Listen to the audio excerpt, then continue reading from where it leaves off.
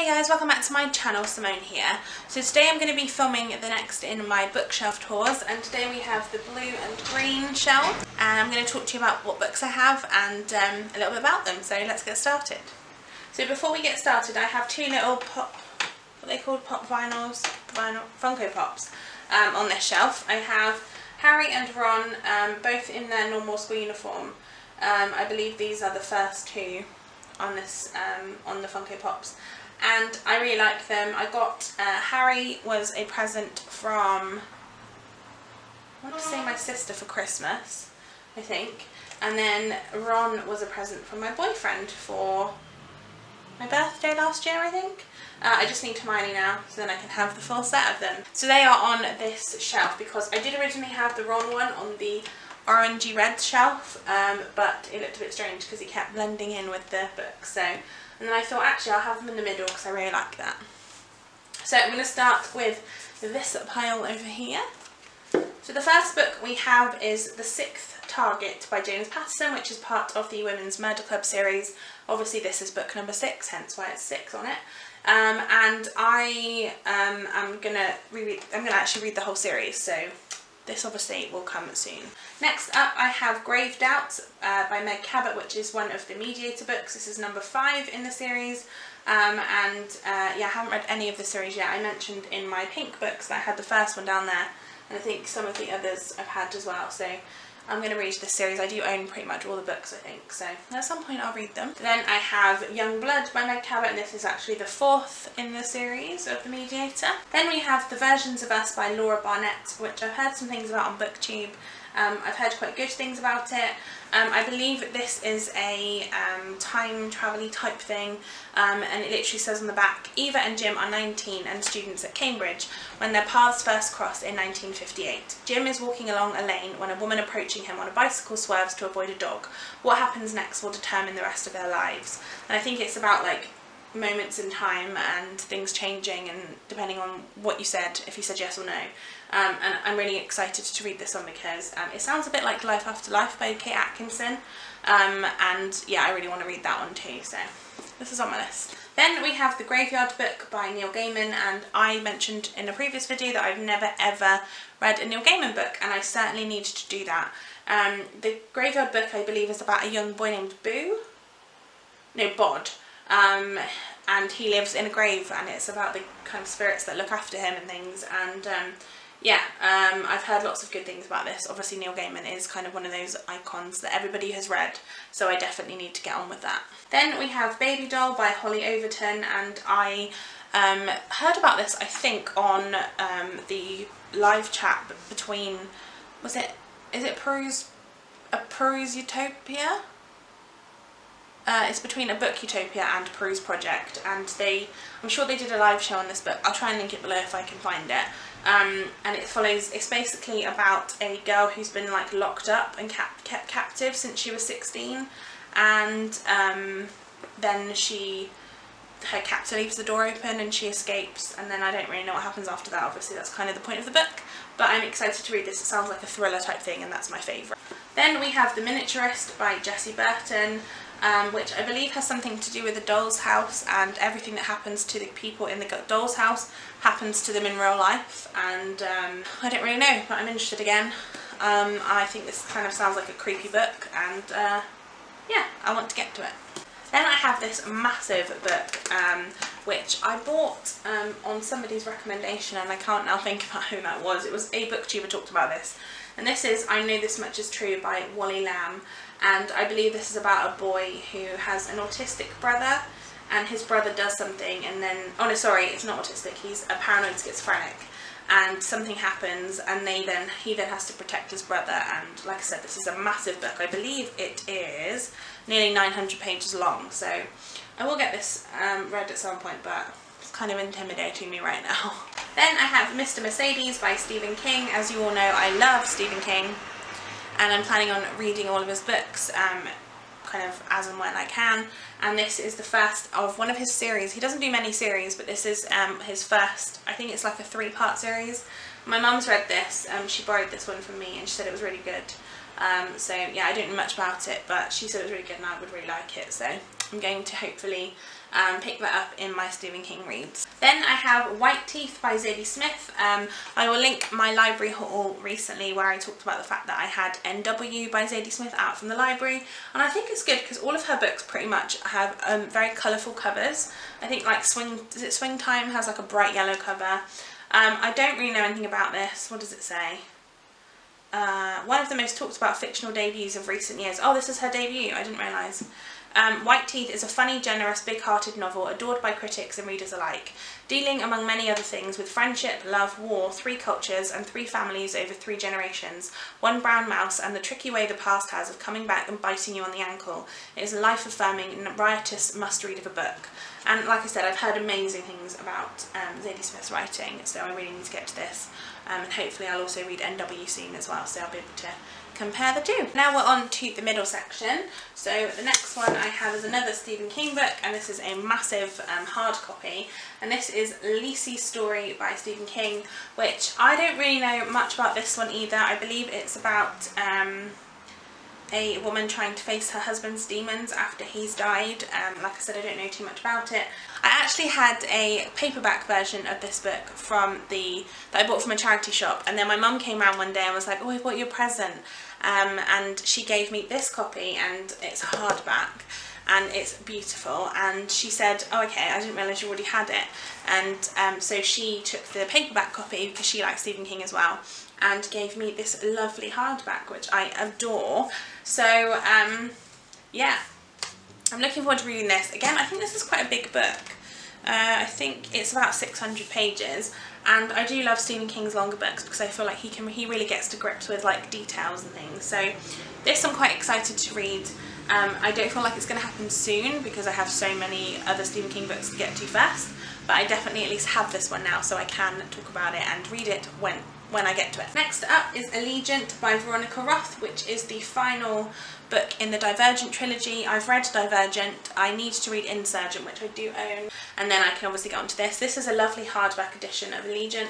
I believe I got this from the library, but again, I've not actually seen this cover very much. I think there's another cover that people tend to have um, but I really like this cover and I'm looking forward to it because I did really enjoy Divergent. Next up I have Jodi Picoult's Handle with Care. As I've mentioned many times before, you know how much I love Jodi Picoult's books, so um, this is another interesting one and I always feel like she handles hard-hitting topics really, really well. So this one is... Um, it says Willow O'Keefe had seven broken bones before she took her first breath. Now her life is lived on a knife edge. Born with brittle bone disease, she will never learn to skate like her sister. Even walking can be dangerous. One wrong step and she is back in a cast. The medical bills are crippling her family, so when a lawyer tells Charlotte, her mother, that they might have a case to sue for wrongful birth, she feels bound to consider it, except that winning would mean losing her best friend and telling the world that she wish wishes her much longed for adored daughter had never been born. And so this is a again another hard-hitting topic it's a topic that is very difficult to talk about and yet Jodi Picoult does it so well so I'm really looking forward to reading this. Then I have My Heart and Other Black Holes by Jasmine Warga which I believe has something to do with um, suicide like a suicide pact I don't know too much about this. I've heard mixed things about this book. Um, a lot of people have issues with this book and think it's like glorifying suicide in the same way that I think 13 Reasons Why does. Um, so I will read this at some point and kind of figure out how I feel about it, but I'm going into it very tentatively. The next one is Local Girl Missing by Claire Douglas and this is about a woman who's um, so this is about a 21 year old girl who go, a woman who goes missing one night and then um, her best friend um, hears that a body has been found in the village where they in the town that they used to live in and um, it's kind of all drawn back into it. I don't know obviously if the body is the woman's or not or whatever but um, I, like I said, love thrillers. I find the whole thing like terrifying but interesting and I really can't wait to read this. I've heard really good things about Claire Douglas's writing. I think she wrote a book called The Sisters which I haven't read but again I've heard good things about so hopefully I really like this one as well and it's supposed to have a really good twist in it as well. Then I have a book called Hitler's Angel by William Osborne and I've really not heard very much about this apart from obviously it's set in the Second World War and it's about um, a boy and a girl trying to find somebody to bring Hitler down and um, yeah, this could be really interesting. Um, this is another book that I got from a library book sale and uh, I'm kind of scared to read it, I won't lie. Um, I always find that Second World War books are either amazing or they're not. so I'm hoping this is a good one. Then I have another Second World War book and this is The Boy in the Striped Pyjamas by John Boyne. I have seen the major motion picture, as it says up here, um, of this book and I sobbed like a small child when reading it um, because it was very sad. This is a lot smaller book than I thought it was going to be but I'm interested to see how it stands up to the book because how it stands up to the film because I really liked the film like I said and um, either way I think this is a good story. Then I have Gravity by Tess Gerritsen and I love Tess Gerritsen's Rizzoli and Isles book series. I've never seen the TV show but I did like the, um, I've read some of the books and loved them. This is I believe a standalone which I know has had a lot of controversy because I believe there was a um, film made that starred like Anne Hathaway in it who, and, and the film idea of it, it was called Gravity and the film was very close to the plot of this book and I believe that Tess Gerritsen um, took them to court um, over the fact that, like, over copyright or like plagiarism or something. I'm not 100% sure, I don't even know what actually happened to the story in the end. But I know there's been some con controversy. Um, but like I said, I love Tess Gerritsen. I'm really excited to read a standalone book of hers. This is set in space and I'm not sure too much about it, but I'm really excited to read it. I love reading about space as well, so this could be a definite tick on my list. Then I have a book called Daughter by Jane Shemilt and this is about a woman whose daughter goes missing and um, she is trying to find her and a year later she's still missing. Um, I feel like this could be quite similar to The Missing by C.L. Taylor that I read I think last year and really liked so um, I love this and also again it's another thriller so I'm going to like it probably um, and if not I'm just going to really enjoy the process of reading it. I then have Second Honeymoon by James Patterson and Howard Roughan and I read Honeymoon, uh, the first book in this duology last year and it was okay, I liked it. Um, I don't remember too much about it other than it's by, it's about an FBI agent who in the first one was really obsessed with this woman who was like murdering people and um, I'm interested to see kind of where it goes, whether this woman is still in this or whether it's a completely different story based on the FBI agent. So yeah, looking forward to this. Um, like I said, I really liked the first one. Then I have Undead and Unappreciated by MaryJanice Davidson, and this is the third book in the Undead series. I read Undead and Unwed and Undead and Unemployed last year and liked both of them a lot. So um, hopefully I really enjoy this. It follows a woman named Betsy Taylor who has turned into a vampire and she's suddenly like the queen of the undead and she doesn't fully know why that is. Um, and yeah, she's just trying to get on with it. So loved the first two, so hopefully I like this one as well. Then we have a book called Shatter Me by Tahereh Mafi, which I'm sure most of you have heard of before. Um, Whitney from Whitty Novels, whose link, whose channel I'll link below, um, is like in love with this series. It's her favourite series of all time. Um, and also Naya Reads and Smiles, I'll link her channel below as well, she talks about this a lot too. This is about a woman named Juliet, I believe, whose touch is fatal and then some people try and use it as a weapon, I think, and um, yeah, it's about that. I think they there was three three books in the original series, but I think the fourth one has just been released. I'm not sure if it's linked to that or if it's like a spin-off. Um, I don't know how I feel about this because throughout the book, now I can't find. Oh yeah, there's like bits with like crossing out um, throughout it, so not sure how I feel about that. We'll see. And then we are on to the kind of green side, the final stack. So the first one on that sack is Black Box by Cassia Leo and I will quickly read this to you because I don't have a clue what this is about. It says, never forget that in an instant your entire world can go black. Mickey and Crush have crossed paths twice. They've saved each other's lives, even if they have no idea how much they have to thank each other for. Both of them have a history to hide from, and when their paths cross yet again, they are forced to confront the secrets that might just bring them together for good. As they begin to piece together their history, they soon realise that fate has more in store for them than just another love story. Three fateful encounters, two heartbreaking tragedies, one last chance to get it right. Again, I don't know anything else about this. It looked interesting. I think I bought this from a charity shop. It looked really interesting. I thought I'd pick it up and see what it was about. So I will let you know once I read it. The next one is The Husband's Secret by Liane Moriarty and um, this is another thriller, again, another one that I'm really excited about. But this follows a woman whose husband dies and when going through his stuff she finds a letter that says only to be opened on my death and um, when she reads the letter she finds out this massive secret that he's been keeping about something that he did I believe it confesses to something and she then is kind of having to decide between keeping the secret to herself, in which it will kind of like sit with her and worm kind of through her, uh, or telling the secret and hurting those that she loves the most. So again, I have no idea what the secret is, but I'm really, really looking forward to finding out. And I've heard this book is really difficult to put down, like you once you start it, you want to finish it. So that sounds like my kind of read. We then have Pretty Girls by Karin Slaughter, and this will be my first Karin Slaughter book, um, unless I read something else before, but I doubt it. Um, I love crime books. Like, this is my favourite type of book. Crime books and thriller books are just my thing.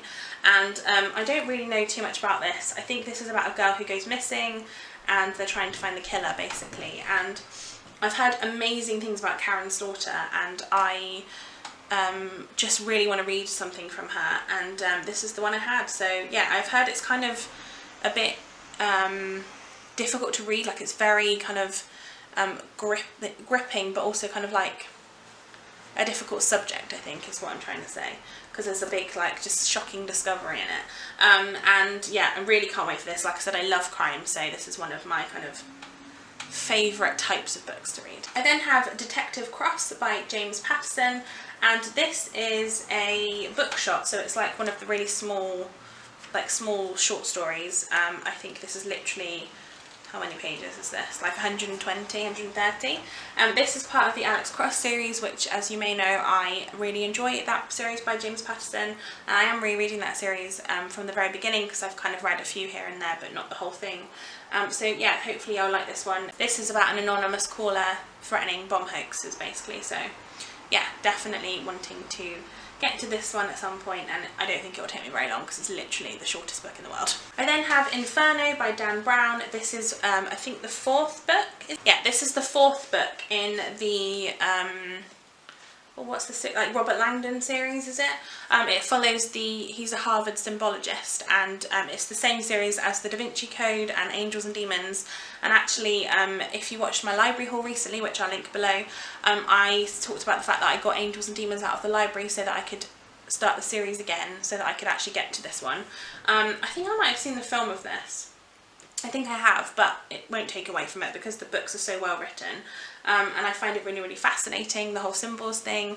And yeah, I really wanted to read this, um, so I'm going to read the others first and then hopefully get to this soon. Then we have Best Friends by Jacqueline Wilson, and I love Jacqueline Wilson. Um, some of her books have been my favourite in my growing up and again in that library haul I was talking about the fact that I'd got Tracy Beaker out of the library and so um, I remember really liking this one. I have not read this in years and years, but I do remember reading this. Um, and it's about two best friends, Gemma and Alice, and kind of what they mean to each other. And um, yeah, I just love the, the illustrations on them too and um, yeah I really just want to reread all of Jacqueline Wilson books because they really meant a lot to me in my childhood and they were a big part of my reading and kind of getting into reading in the first place. Then I have How to be a Woman by Caitlin Moran. I think I heard about this on just Kiss a Frog? Just Kiss My Frog I think it's called. Um, uh, the channel, YouTube channel with Leena Norms is the main she's the one who does the channel um, and so I'll link her channel below if I can find it. I'm pretty sure I remember her talking about this book and that's why I picked it up. But um, Caitlin Moran in general is quite funny. This is like a part memoir. I think she describes it as part memoir, part rant. Caitlin Moran answers the questions that every modern woman is asking. Um, so yeah, definitely going to read this. I think this is going to be really funny. I've heard that she's a really funny person, so this would probably be quite a funny book to read. Then I have another thriller. That's surprising, isn't it? It's not like I've had like 10 million of them on this shelf. Um, this is I Let You Go by Clare Mackintosh um, and I think this could be quite interesting. So this um, very quickly follows um, in a split second, Jenna Gray's world descends into a nightmare. Her only hope of moving on is to walk away from everything she knows to start afresh. Desperate to escape, Jenna moves to a remote cottage on the Welsh coast, but she's haunted by her fears, her grief, and her memories of a cruel November night that changed her life forever. Slowly, Jenna begins to glimpse the potential for happiness in her future, but her past is about to catch up with her and the consequences will be devastating. And this says, Did you love Gone Girl and the Girl on the Train? Now lose yourself in the twisty, enthralling psychological thriller that everyone is talking about. And I have heard a lot of people talking about this. Um, I did love Gone Girl and I did love A Girl on the Train, so hopefully I really like this one too. Um, and yeah, I'm looking forward to it. We then have Rebel of the Sands by Alwyn Hamilton, which is a YA fantasy set in the desert, I do believe. Um, yes, it is. I don't know very much about it. I love the cover of this. I think it's gorgeous. Like I said, lots of people talk about this. It's one of like the books of the time. And um, yeah, looking forward to reading this. Then I have Uglies by Scott Westerfeld, which is the first um, book in a three-part uh, trilogy, which I believe I have all of the books of. You'll probably see them coming up in next shelves and things. Um, this follows a dystopian world where everybody is ugly and then when you turn to a certain age you become a pretty and the main character in this has to decide whether to turn her friend in or become a pretty um, and she has that kind of dilemma. Um, I, again, I'm looking forward to this. I've heard very mixed things, but um, I feel like I love a dystopian, so I'm probably going to really like this. And then the final book on this shelf, and the final book of this, I made me jump, the books just fell down. And the final book of this video is The Silver Chair by C.S. Lewis, which is the sixth and final book in the Chronicles of Narnia series. I have seen the adaptation of this, but I've never actually read this book before, and um, I really feel like it should be interesting. Like I said, I've seen the adaptation, it was a long, long time ago, and I really don't remember the storyline, so this could be quite an interesting book to read, um, because I do like the, the Narnia series. Um, I do plan on reading The Horse and His Boy really soon, so hopefully this will kind of follow that up at some point. Um, but yeah, really like the Chronicles of Narnia in general. So that is all of the books on my blue and green shelf. Let me know which books you think I should get to first and give this a thumbs up if you enjoyed it and press the little notification bell so that you don't miss out when I talk about the other books on my shelf. I'll also link the playlist below where I have done the other bookshelf tours um, previously and I shall see you in my next video. Bye guys!